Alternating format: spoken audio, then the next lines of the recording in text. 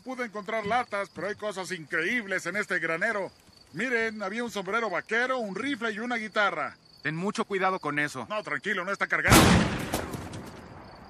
Y se me cayó la puta nariz.